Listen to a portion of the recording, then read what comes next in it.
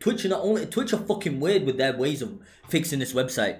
It's honestly is extremely greedy.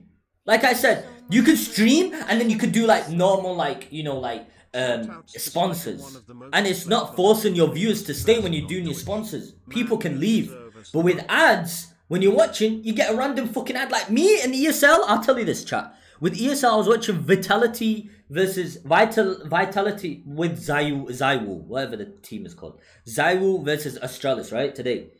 I watched on Twitch. I got five ads. I finished the five ads. Two ads. It didn't finish. It never stopped. So I left and watched it on YouTube. I don't give a fuck. I'll say that 100%. What, what, what, what's Twitch gonna do? Ban me for saying that, bro? You, for the fucking ads are shit. Too many abused ads, bro. Uh, at this point, I'm not. I'm right. I'm watching ads instead of a fucking stream. So you need to know, bro. I always speak out true but non false images.